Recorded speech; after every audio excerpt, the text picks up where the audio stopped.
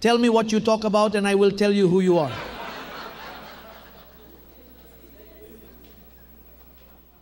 That's why the prudent person who doesn't talk much is better a quiet person, even if they call him shy but quiet.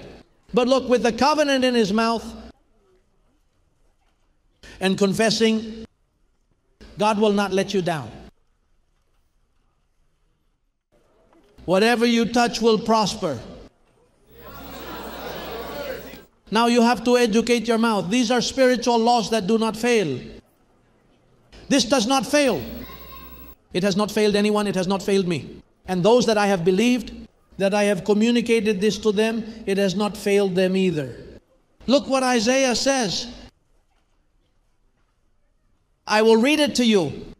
Isaiah 33.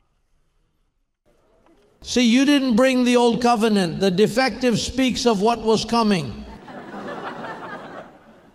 So you have to bring the full trunk chapter 33 of Isaiah. My apostle's favorite prophet, Paul, verse 24. It says,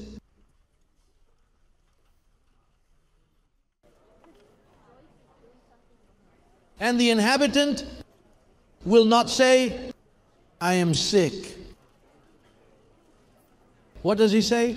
Isaiah speaking of the covenant that was coming, he says, Look, the prophet knows that as you were going to be blessed with the believing Abraham, he says, they, even though they are sick, they are not going to say, I am sick, because they call things that are not as if they were.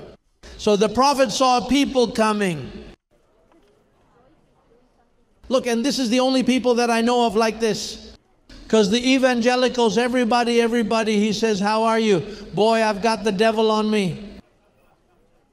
You can inquire from any of the individuals, be it the Reverend, Monsignor, or any other person.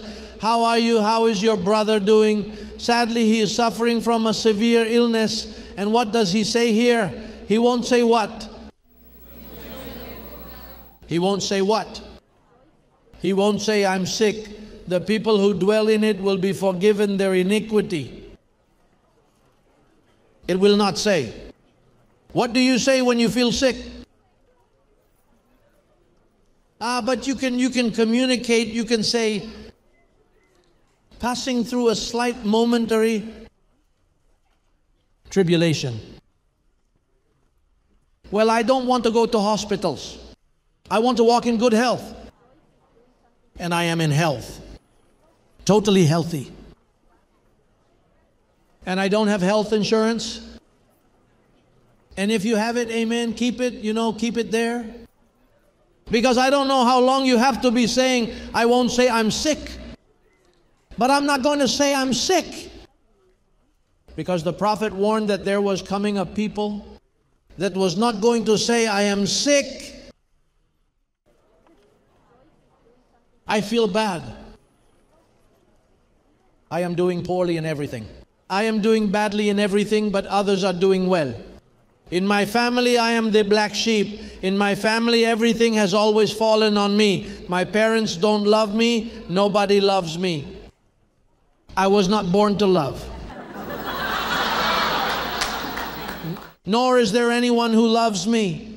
I'm a zero to the left. Well, keep on saying it so that you see, look, so that you can see. The grave that's right above your head, You're going to take a bath, you're going to be well bathed, but of garbage.